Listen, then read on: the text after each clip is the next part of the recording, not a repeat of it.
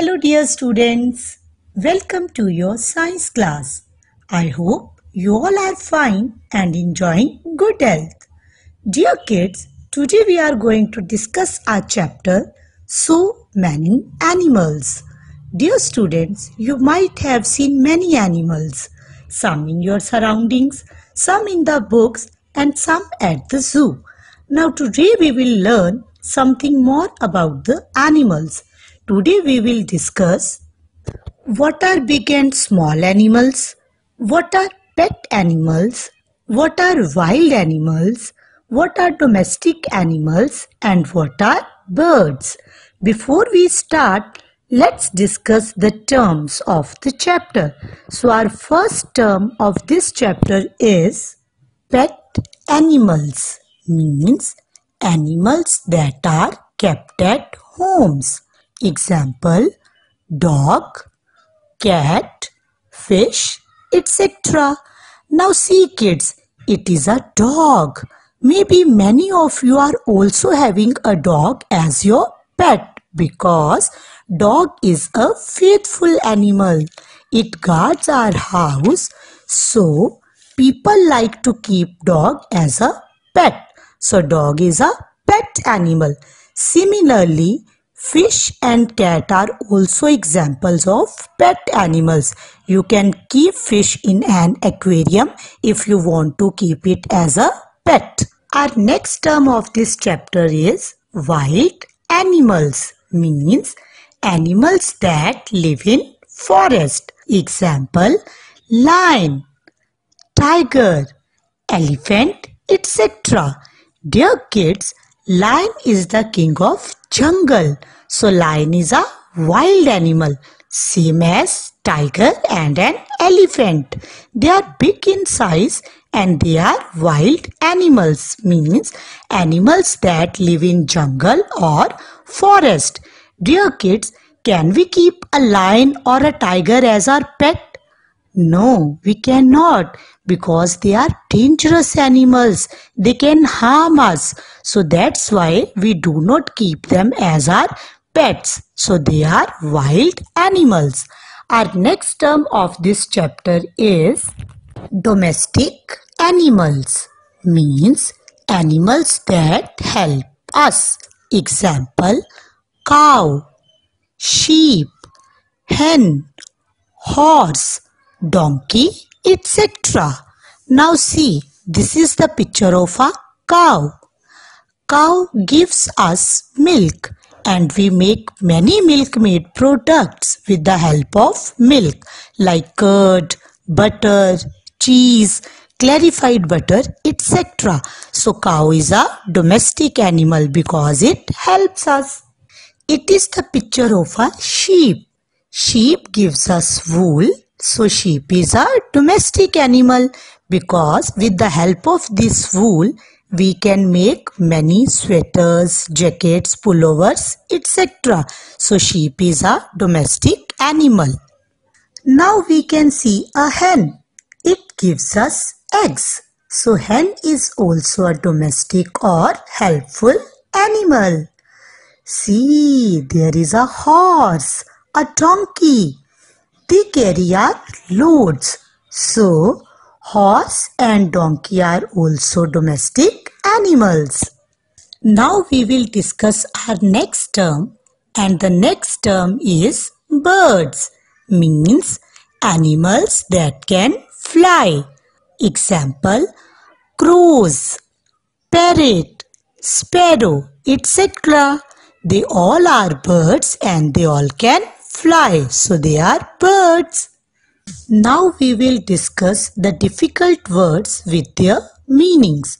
And the first word is K-I-N-D-S, kinds.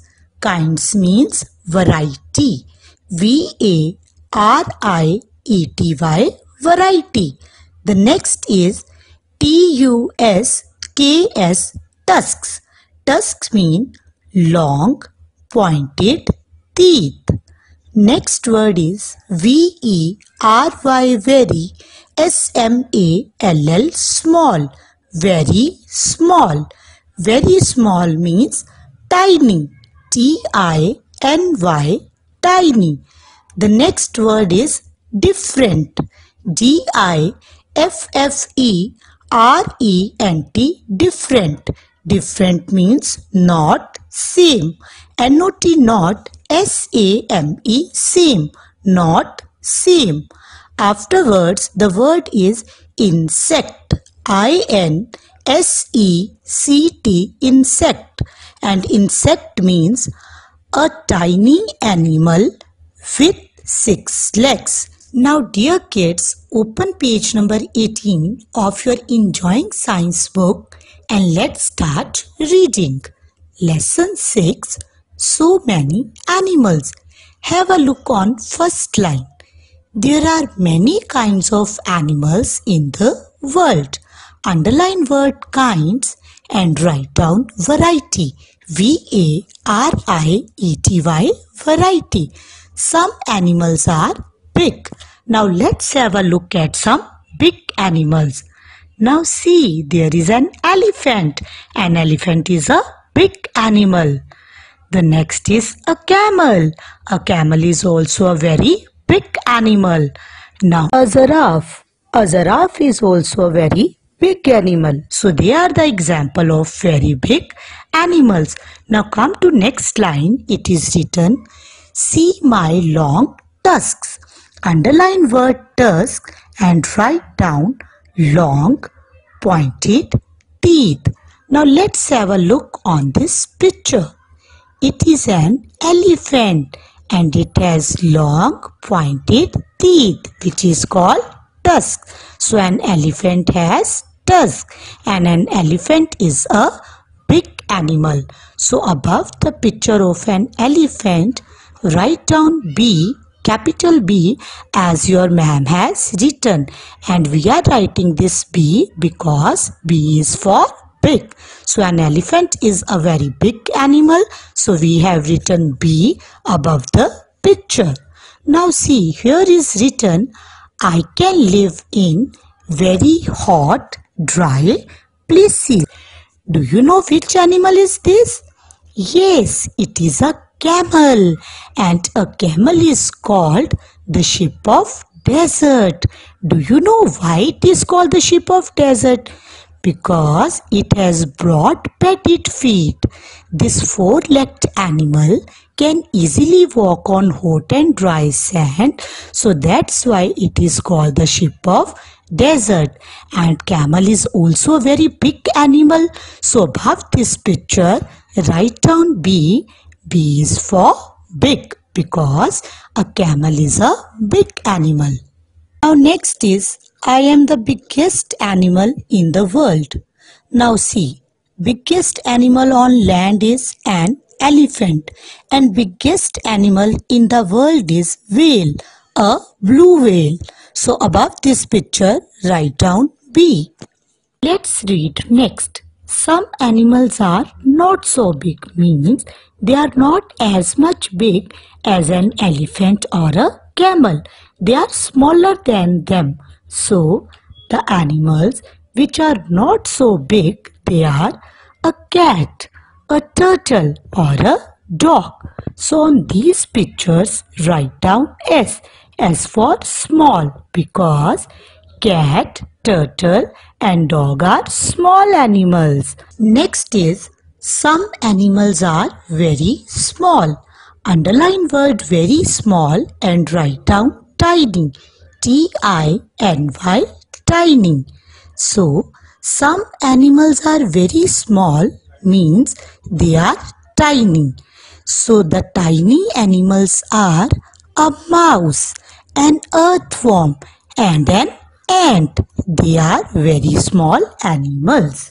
Now come to page number 19 and let's start reading. Animals are of different shapes. They all look different from each other. Underline word different and write down not same means all animals are of different shapes. They don't look similar. They all are of different shapes and sizes. Now see this picture. Have you recognized this four-legged animal?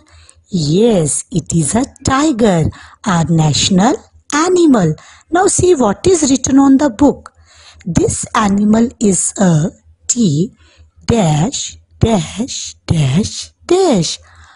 Now it is written how many legs does it have?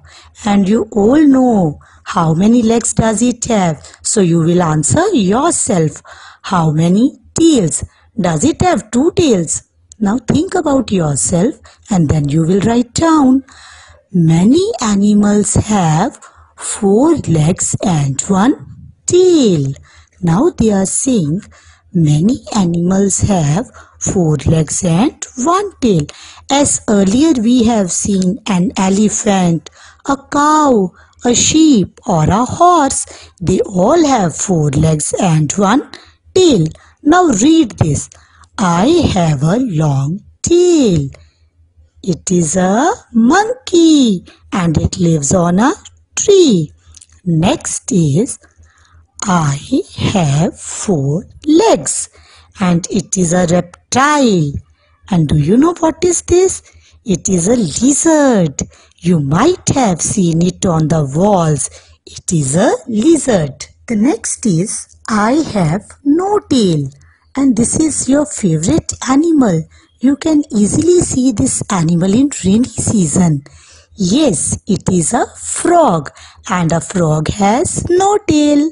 The next is I have no legs. It is a snake. It is also a reptile. Now come to the next paragraph.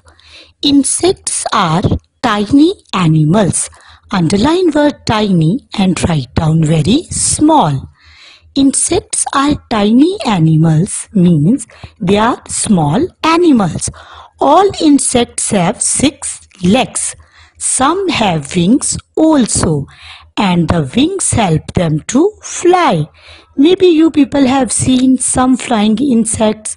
Maybe you have seen a housefly, a mosquito or a butterfly.